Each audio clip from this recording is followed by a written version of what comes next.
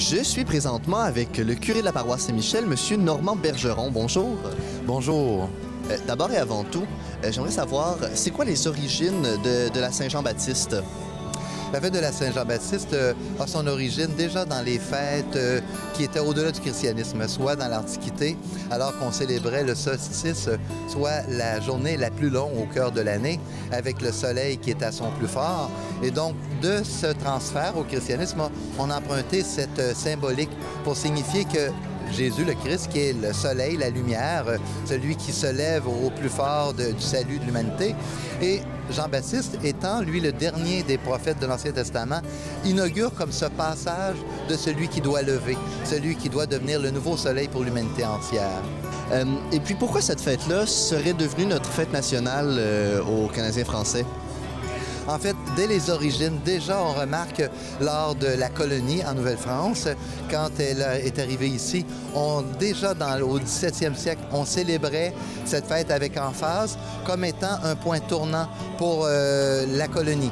D'abord, dans un climat rigoureux où l'hiver avait été intense et autres, on voyait comme ce moment un lieu de prospérité, le temps des récoltes qui allait venir, le temps de toutes ces semences qui est en train de prendre forme à travers euh, les, labo- les labours de tous les habitants qui étaient en Nouvelle-France. Et déjà, on le célébrait depuis Jacques Cartier, depuis les premiers qui sont arrivés.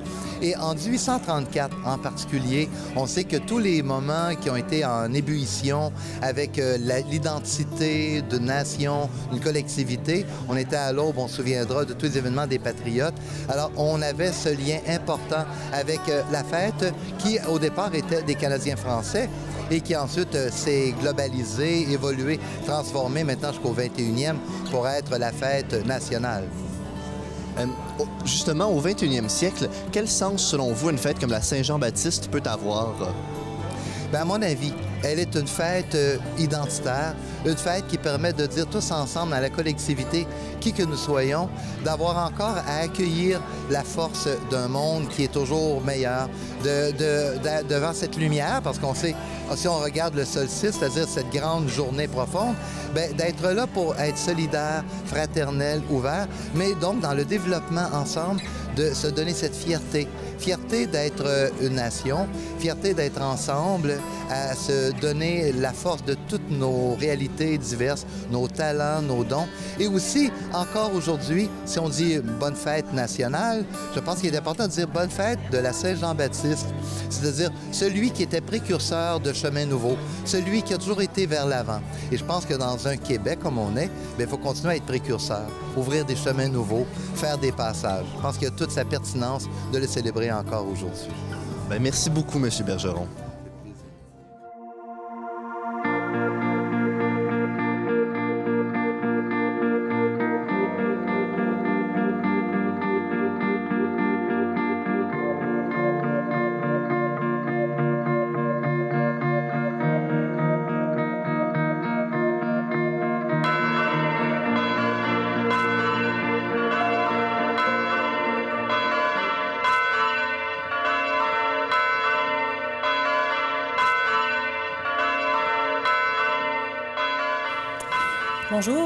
Je suis Chantal Bédard, euh, la directrice générale de C'est sur la télé, qui est la télévision communautaire de Vaudreuil-Soulanges.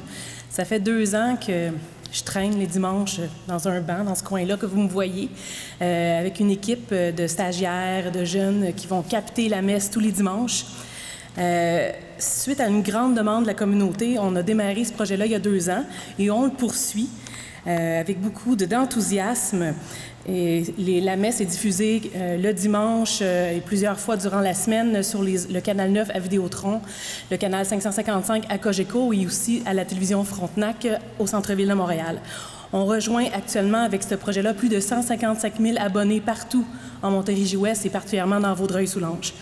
C'est quand même incroyable pour la petite paroisse de la région.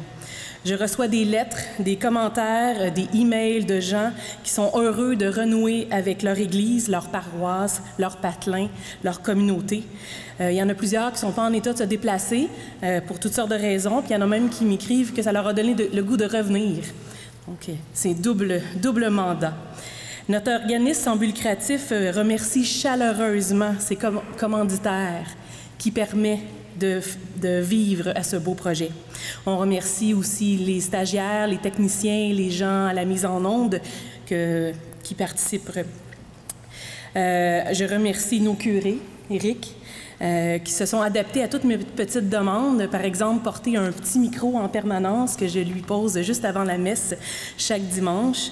Euh, je remercie la chorale qui fait un travail incroyable, le, précieux soutien de Christine, de Martine, bref, un travail remarquable.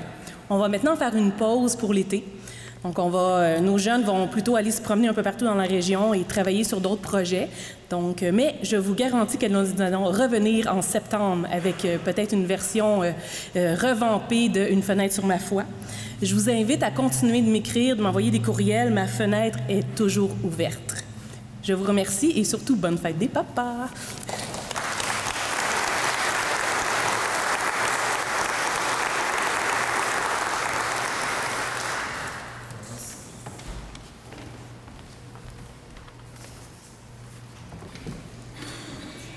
Frères et sœurs, bonjour. Bienvenue à cette célébration. La solennité du Saint-Sacrement, du corps et du sang du Christ est une fête joyeuse et enthousiaste parce qu'elle est une découverte de la permanence, de la permanence du ressuscité au milieu de nous. Fêtons, réjouissons-nous et surtout devenons le Seigneur Jésus qui est celui que nous recevons. Ce dimanche, pas un seul père ne doit être oublié. En ce jour de la fête des pères, prions pour nos papas, nos grands-papas, qui sont comme Jésus, des pierres vivantes au sein de nos familles. Je vous invite à vous lever pour accueillir le célébrant.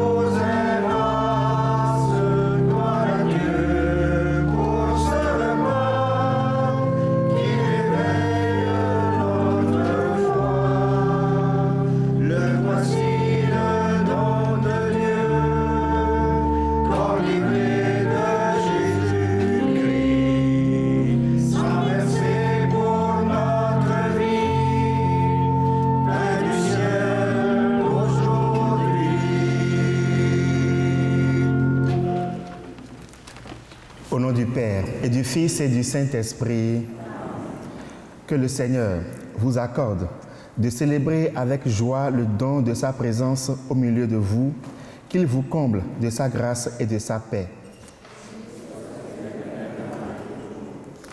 En cette célébration du Saint-Sacrement du corps et du sang du Christ, accueillons le pardon que Dieu nous offre de nos oublis envers nos frères et sœurs dans le besoin, Seigneur, prends pitié. De notre tiédeur, quand nous recevons la communion, ô Christ, prends pitié. De notre peu d'attention à écouter ta parole, Seigneur, prends pitié. Que Dieu Tout-Puissant nous fasse miséricorde, qu'il nous pardonne nos péchés et nous conduise à la vie éternelle. Thank you.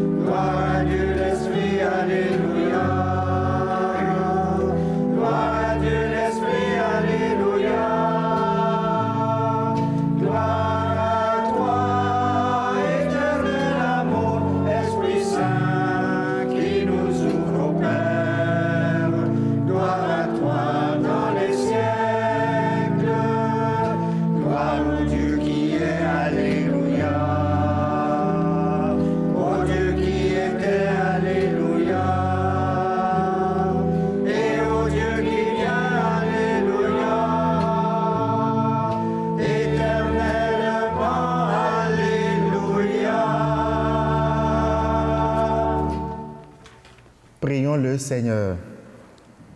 Seigneur Jésus-Christ, dans cet admirable sacrement, tu nous as laissé le mémorial de ta passion.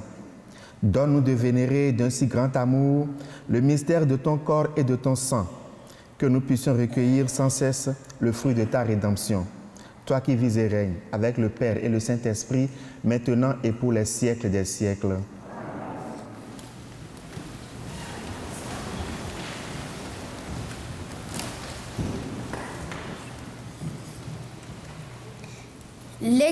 Du livre du Deutéronome.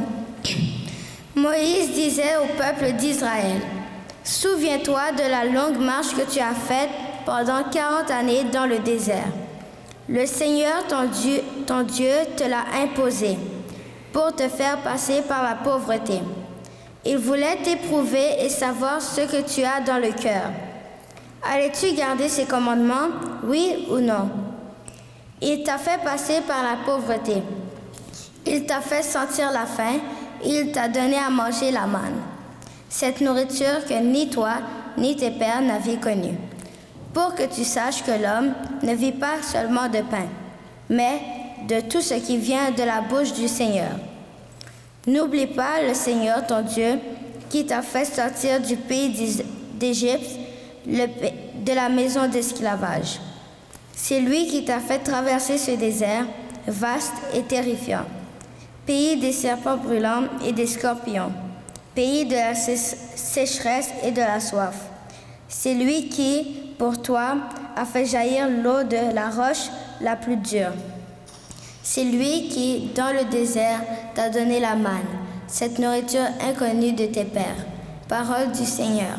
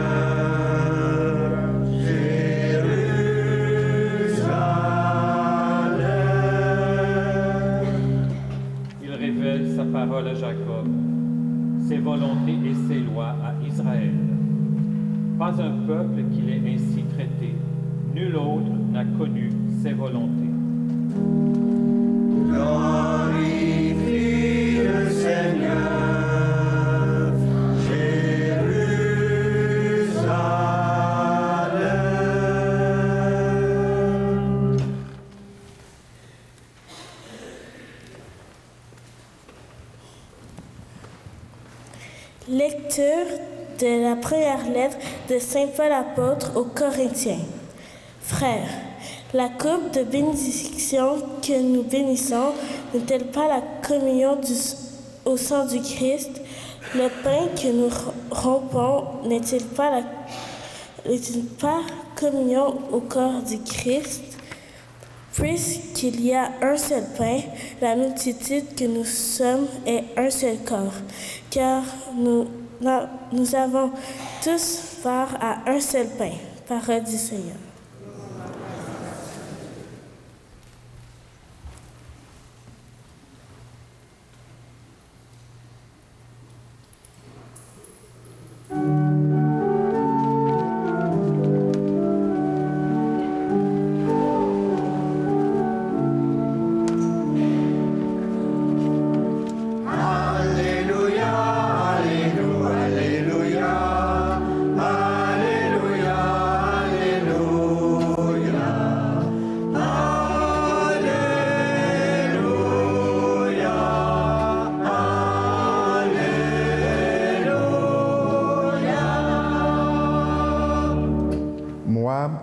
Le pain vivant qui est descendu du ciel, dit le Seigneur.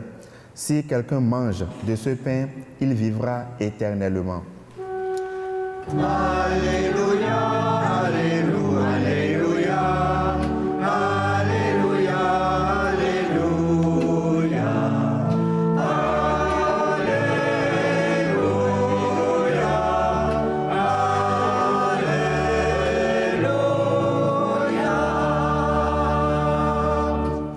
Le Seigneur soit avec vous.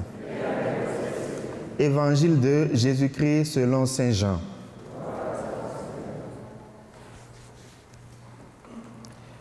En ce temps-là, Jésus disait aux foules des Juifs, Moi, je suis le pain vivant qui est descendu du ciel. Si quelqu'un mange de ce pain, il vivra éternellement. Le pain que je donnerai, c'est ma chair donnée pour la vie du monde. Les Juifs se querellaient entre eux. Comment celui-là peut-il nous donner sa chair à manger? Jésus leur dit alors, Amen, Amen, je vous le dis. Si vous ne mangez pas la chair du Fils de l'homme, et si vous ne buvez pas son sang, vous n'avez pas la vie en vous. Celui qui mange ma chair et boit mon sang a la vie éternelle, et moi, je le ressusciterai au dernier jour. En effet, ma chair est la vraie nourriture et mon sang est la vraie boisson. Celui qui mange ma chair et boit mon sang demeure en moi, et moi, je demeure en lui. De même que le Père qui est vivant m'a envoyé et que moi je vis par le Père, de même celui qui me mange, lui aussi vivra par moi. Tel est le pain qui est descendu du ciel. Il n'est pas comme celui que les pères ont mangé. Ils sont morts. Celui qui mange ce pain vivra éternellement. Acclamons la parole de Dieu.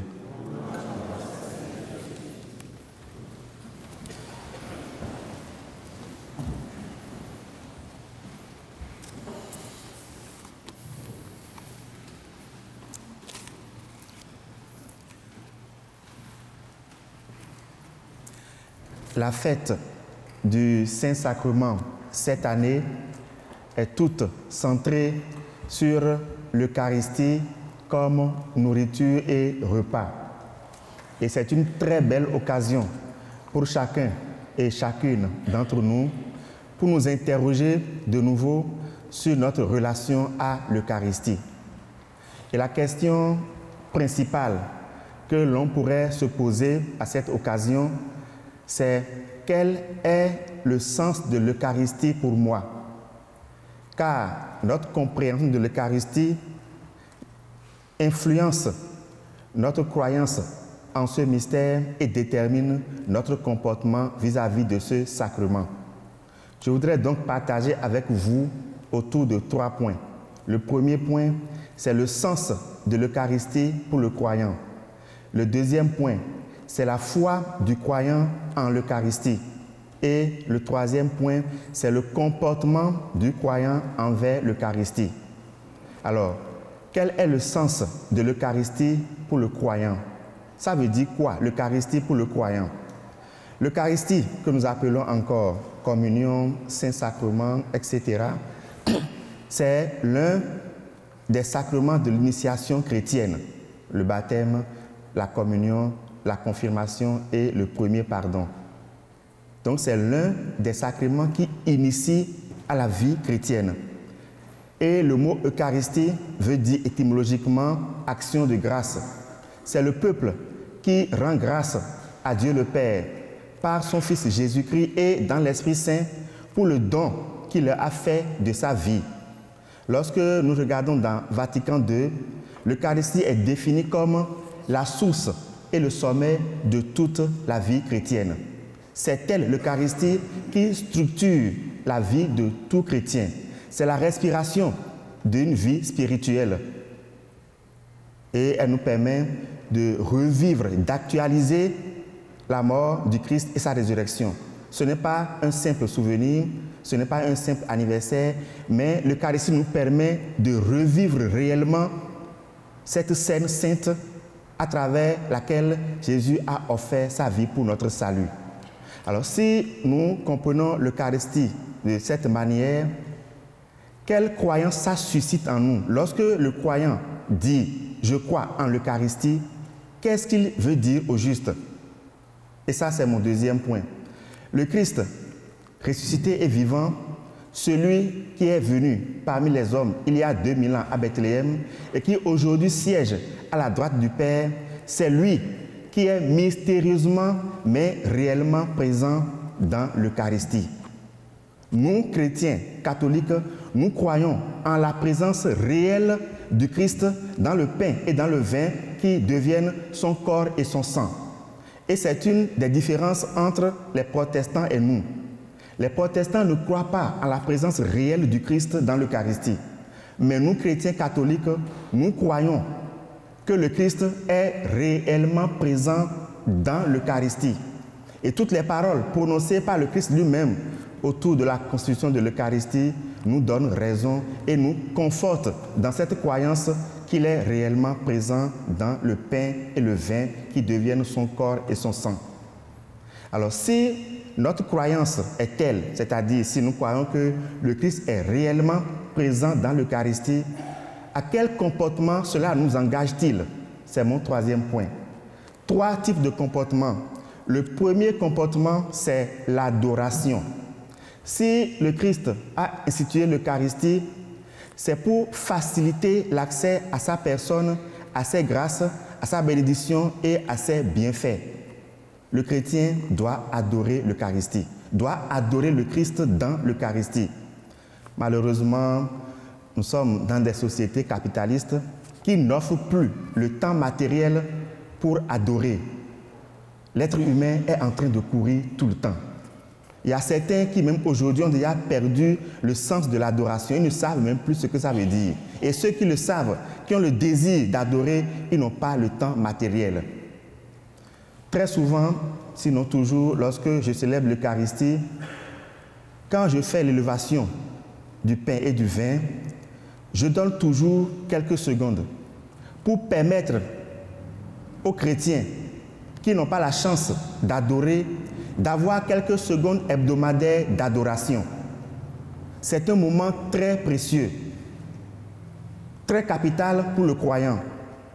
Prenons le temps pendant que le corps du Christ est soulevé, d'adorer le Seigneur, c'est-à-dire le remercier, lui parler, lui dire ce que nous avons sur le cœur, tout, absolument tout de ce qui nous pèse sur le cœur. Pendant la messe, ce moment est un moment très précieux pour le croyant. Lorsque le pain est soulevé, lorsque le vin est soulevé, adorons le Christ.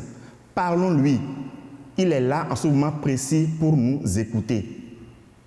C'est très important. Lorsque j'étais encore en formation, j'ai vécu une expérience qui m'a très marqué. Un de nos professeurs, et pas des moindres, et puis on n'a rien lui reproché en tant que prêtre. Pour nous, c'était un prêtre exemplaire. Alors, il s'est fait aborder à la sortie d'une messe par un laïc.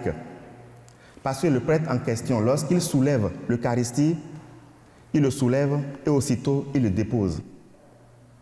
Alors, le fidèle lui a dit, mon père, est-ce que lorsque vous soulevez l'Eucharistie, l'Eucharistie vous brûle les doigts Pourquoi ne prenez-vous pas le temps de nous laisser adorer?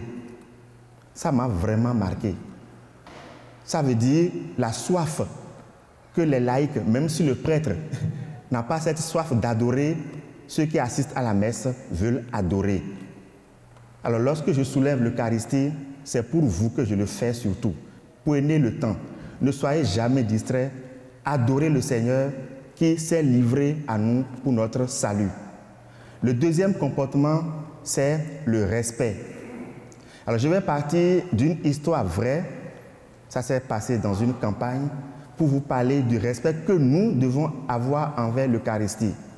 Alors un incendie s'est déclaré dans un village. Alors les fidèles à l'église, bien sûr. Les fidèles ont accouru pour porter leur secours. Y a certains qui se battaient contre le feu, d'autres se sont chargés de dégager l'église des meubles. Alors, il y avait le Saint-Sacrement dans le tabernacle. Le sacristain accourt, il apporte la clé, mais il se dit indigne de toucher au ciboire. Et tous les fidèles laïcs qu'on interpelle pour venir enlever le sacrement disent Je suis indigne. Le curé est, est absent. Ils sont partis chercher le maire du village. Il vient, il dit Je suis indigne. Finalement, c'est un petit garçon de 7 ans qu'on a dû hisser et qui est parti sortir le sacrement du tabernacle. Bon, c'est un comportement qu'aujourd'hui nous allons trouver peut-être un peu trop timoré, mais au moins nous avons là un exemple remarquable du respect que nous devons avoir pour le Saint-Sacrement. C'est en fonction de leur croyance. C'est parce qu'ils se disent que c'est Jésus qui est réellement présent que ces villageois ont eu du mal à manipuler si facilement le ciboire. Aujourd'hui, nous sommes peut-être passés d'un bord à un autre. Nous sommes peut-être passés de ce comportement que nous trouvons un peu trop scrupuleux à une banalisation trop grande du sacrement de l'Eucharistie. Nous nous approchons de l'Eucharistie sans plus trop d'attention. On ne fait plus vraiment attention pour savoir que c'est le Christ qui est là présent dans le tabernacle. Parfois, nous communions sans préparer notre cœur à recevoir l'Eucharistie. J'ai vécu quelque chose ici. Je ne condamne pas celle qui l'a fait. Elle n'est certainement pas fautive. Et le Christ ne lui en veut même pas pour ça. Alors, c'était au cours d'un baptême et une maman a voulu changer la couche de son bébé et elle est partie déposer le bébé devant le tabernacle pour changer la couche. Bon, ça peut paraître banal. Jésus, bon, ne lui en veut certainement pas, il aime les enfants, mais je trouve que ce n'est pas la faute de cette dame, c'est la faute à nous, qui ne prenons plus le temps d'expliquer à nos enfants, à nos frères, à nos sœurs ce que c'est que l'Eucharistie. Et parfois même, notre comportement vis-à-vis de l'Eucharistie les induit dans l'erreur. Alors nous devons faire attention par rapport à l'Eucharistie sachant que c'est le Christ qui est réellement présent et touchant dans notre comportement. Si le Christ n'a pas changé, alors notre comportement envers l'Eucharistie ne doit pas changer. Si notre relation à Dieu n'a pas changé, notre comportement vis-à-vis de l'Eucharistie ne doit pas changer. Le respect et l'adoration de l'Eucharistie ne sont pas les résidus d'une piété dépassée et antique. Ce n'est pas une affaire de choix, ce n'est pas une affaire facultative. Si le croyant, il est conscient que le Christ est présent dans l'Eucharistie, ça change tout son comportement. Le troisième type de comportement, c'est la fraternité. L'Eucharistie fait le corps du Christ et la communauté est le corps du Christ. C'est dire que c'est l'Eucharistie qui fait une communauté. Alors au cœur d'une communauté, la messe, l'Eucharistie est quelque chose de principal. Et je voudrais encore féliciter tous ceux-là qui s'activent pour offrir à la communauté une belle célébration, que ce soit la chorale, les, servants, la sacristine, les lecteurs, tous, même celle qui vient, l'équipe de Chantal, c'est au nom de leur foi qu'ils posent ce geste alors je nous félicite, nous tous, et même ceux qui sont présents, qui vivent dans le respect de l'Eucharistie, je nous félicite vraiment de donner cette place à la messe au cœur de notre communauté. Et si l'Eucharistie fait la communauté, c'est parce qu'elle soude les liens qu'il y a entre nous. C'est le ciment de la charité. Le pain reçu, le pain de Dieu que nous recevons, nous invite à partager avec nos frères et sœurs le pain que Dieu nous donne. En conclusion, le chrétien catholique qui ne croit pas que Jésus est réellement présent dans l'Eucharistie, qui n'adore pas et qui ne respecte pas l'Eucharistie, est entré dans une grave crise d'identité. Dieu, il est humble avec nous, il est simple, il est venu jusqu'à notre niveau, mais qu'il nous garde d'être trop familiers de l'Eucharistie, qui nous garde d'une grande familiarité avec l'Eucharistie, qui risque de nous faire perdre le sens de ce sacrement et de ce mystère. Que Dieu nous aide à découvrir davantage la grandeur de ce mystère et qu'il nous aide également à devenir ce que nous consommons, le corps du Christ. Amen.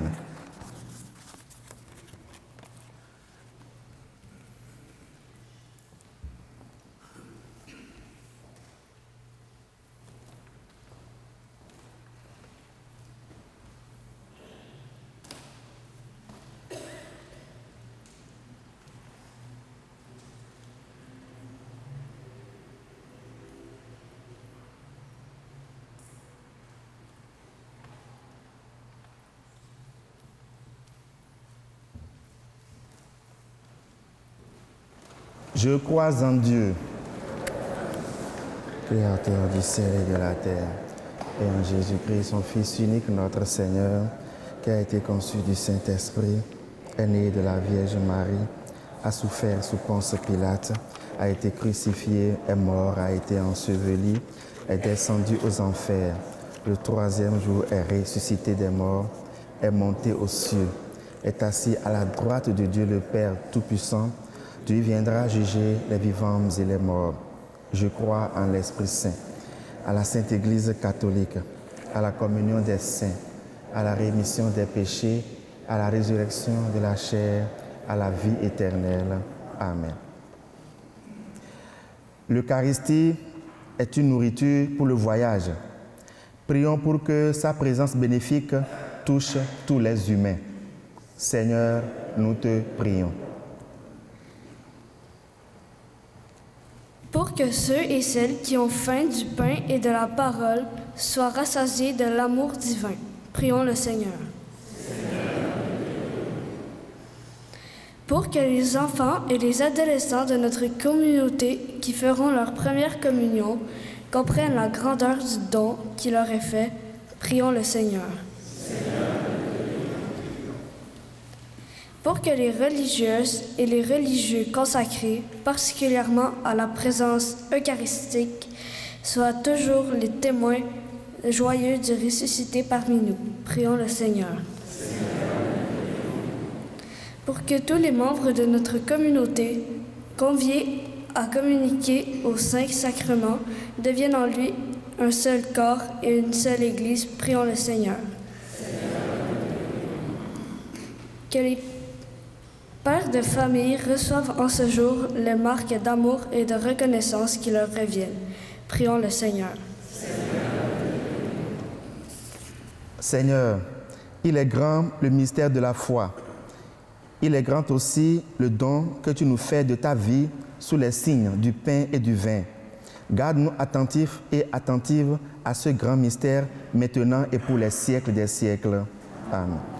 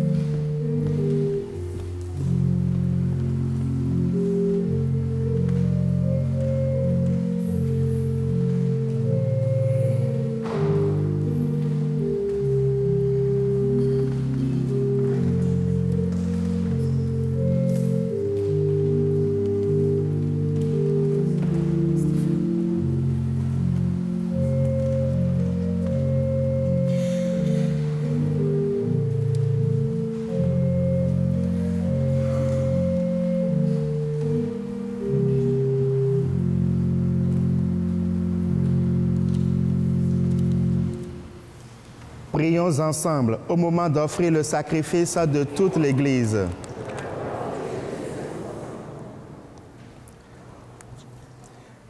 Accorde, Seigneur, à ton Église les biens de l'unité et de la paix, dont nos offrandes sont le signe dans le mystère eucharistique.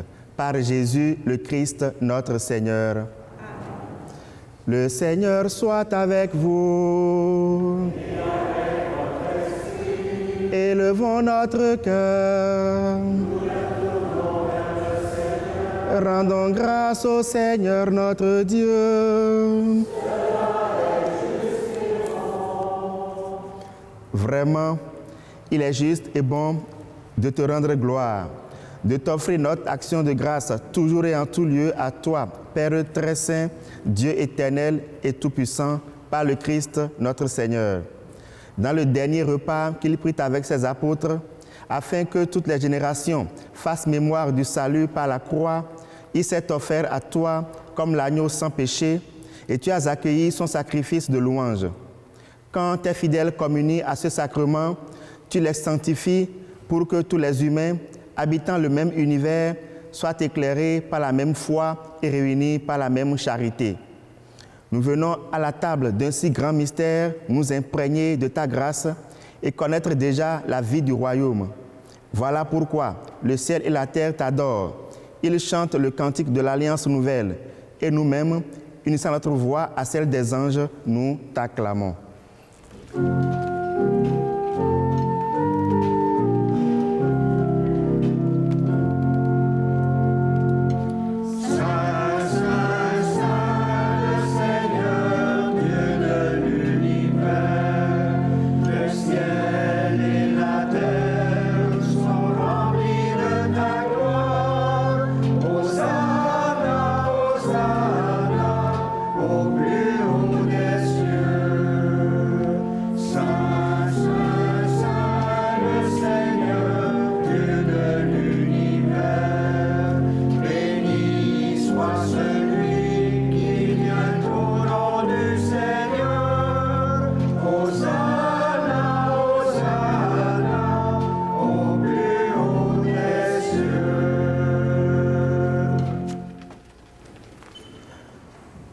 Toi qui es vraiment saint, toi qui es la source de toute sainteté, Seigneur, nous te prions.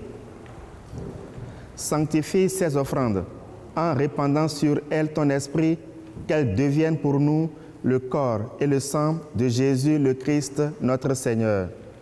Au moment d'être livré et d'entrer librement dans sa passion, il prit le pain, il rendit grâce, il le rompit et le donna à ses disciples en disant, Prenez et mangez-en tous, ceci est mon corps livré pour vous.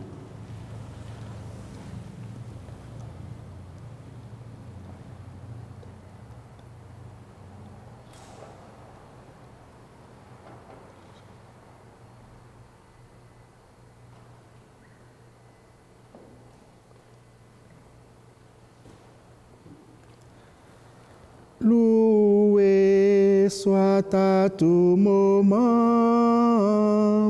Jésus au Saint-Sacrement.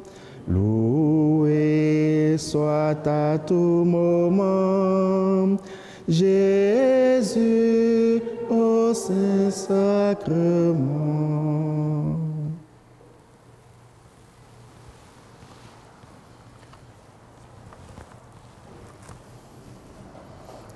De même, à la fin du repas, il prit la coupe, de nouveau le rendit grâce et la donna à ses disciples en disant, Prenez et buvez-en tous, car ceci est la coupe de mon sang, le sang de l'alliance nouvelle éternelle qui sera versé pour vous et pour la multitude en rémission des péchés. Vous ferez cela en mémoire de moi.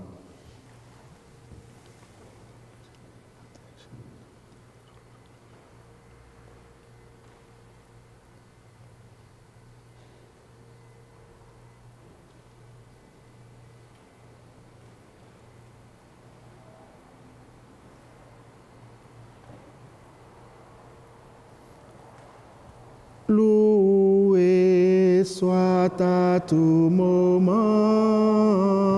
Jésus au Saint-Sacrement, loué soit à tout moment. Jésus, au Saint-Sacrement.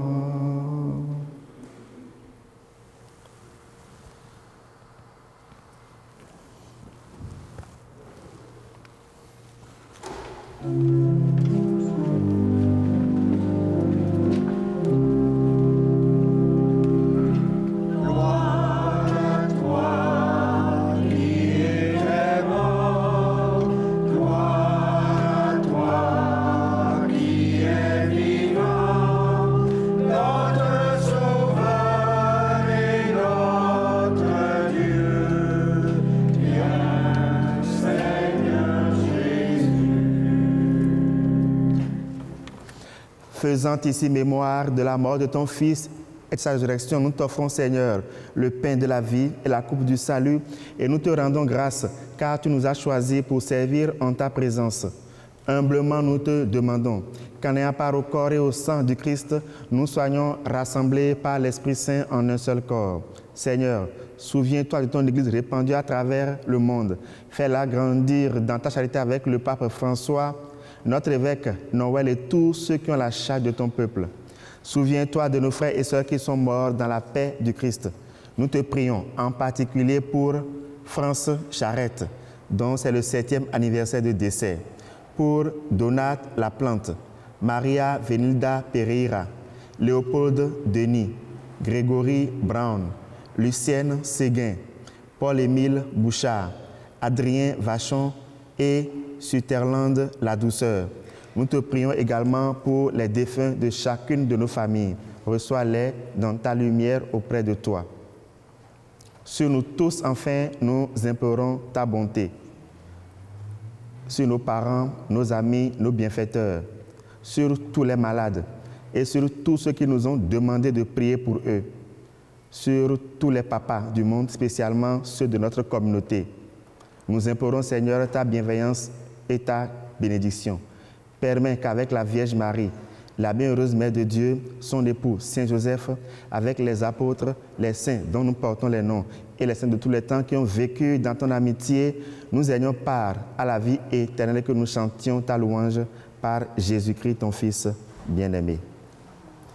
Par lui, avec lui et en lui, à toi, Dieu le Père Tout-Puissant, dans l'unité du Saint-Esprit, tout honneur et toute gloire pour les siècles des siècles. Amen. Unis dans le même esprit, reprenons avec confiance et assurance la prière reçue du Sauveur. Notre Père qui es aux cieux, que ton nom soit sanctifié, que ton règne vienne, que ta volonté soit faite sur la terre comme au ciel. Donne-nous aujourd'hui notre pain de ce jour. Pardonne-nous nos offenses, comme nous pardonnons aussi à ceux qui nous ont offensés, et ne nous soumets pas à la tentation, mais délivre-nous du mal. Délivre-nous de tout mal, Seigneur, et donne la paix à notre temps. Par ta miséricorde, libère-nous du péché. Rends-nous forts devant les épreuves. En cette nous espérons le bonheur que tu promets et l'avènement de Jésus-Christ, notre Sauveur.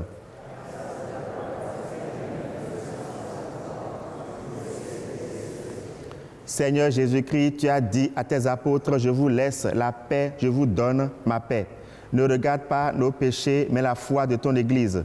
Pour que ta volonté s'accomplisse, donne-lui tout cette paix et conduis-la vers l'unité parfaite, toi qui règnes pour les siècles des siècles. Que la paix du Seigneur soit toujours avec vous. Frères et sœurs, dans la charité du Christ, donnons-nous un signe de paix.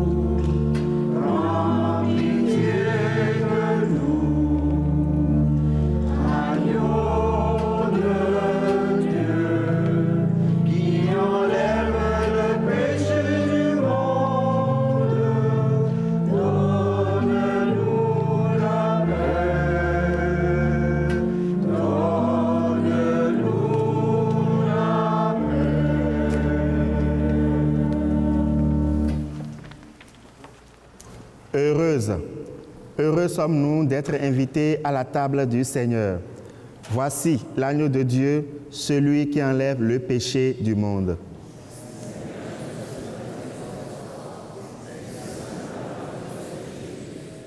Le corps et le sang du Christ nous gardent pour la vie éternelle. Amen.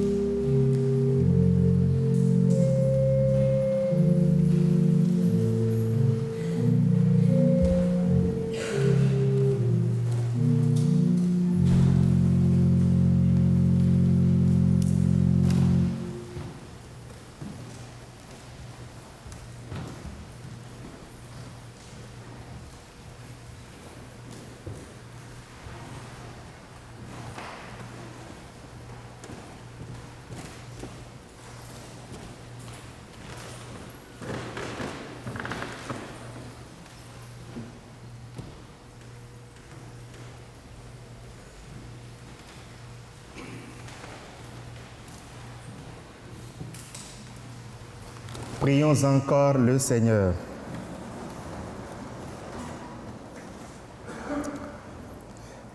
Fais que nous possédions, Seigneur Jésus, la jouissance éternelle de ta divinité, car nous en avons ici-bas l'avant-goût lorsque nous recevons ton corps et ton sang, toi qui vis et règnes maintenant et pour les siècles des siècles. Je vous invite à vous asseoir.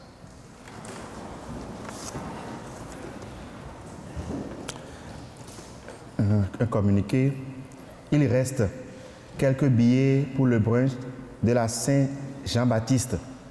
Les billets sont à 18 dollars par personne adulte. Stéphane sera en arrière de l'église pour vous offrir ces billets à acheter. Merci.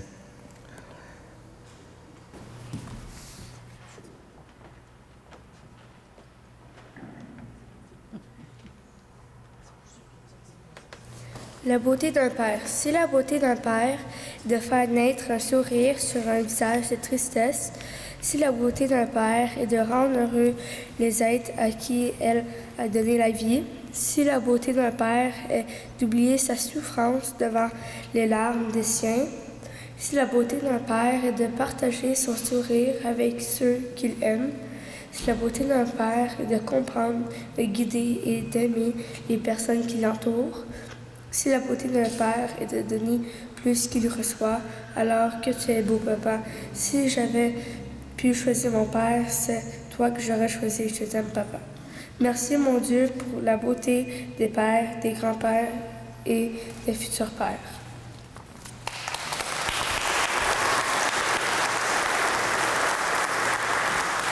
Alors pour accompagner ces jolis mots adressés par les enfants à nos papas de la communauté, ils ont des fleurs à vous offrir.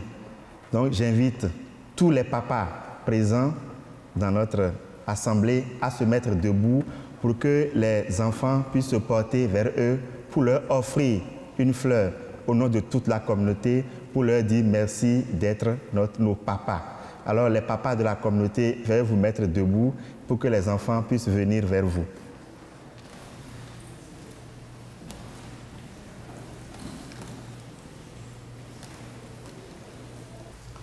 Si je connaissais une belle chanson des pères, j'allais accompagner le geste des enfants. Mais je ne connais, je n'entends souvent la radio que Papa outé, outé, papa outé, outé. En tout cas, bonne fête à vous quand même, nos chers papas. Avant la bénédiction finale, parce qu'ils sont presque à la fin, je voudrais passer l'événement sous silence, mais je pense bien que je n'en ai pas le droit. Je suis obligé d'en parler, mais je vais en parler brièvement et après on va y revenir. Donc le mercredi dernier, j'ai soutenu ma thèse de doctorat et ça s'est très bien passé.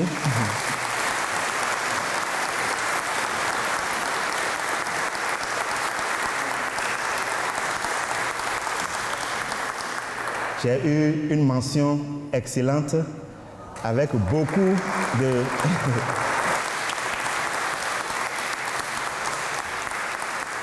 beaucoup de félicitations et autorisations de publier la thèse. Donc, je n'ai pas fait honte à la communauté de Vaudreuil-Dorion. Je voudrais vous remercier pour votre soutien moral et spirituel. Mais je voudrais en même temps rectifier quelque chose. Certains m'ont abordé comme quoi il semble que je suis en train de retourner chez moi. Ce n'est pas tout à fait exact. Je partirai certainement en vacances, mais je reviens pour rester avec vous pour quelques années encore. Donc, je ne suis pas en train de partir.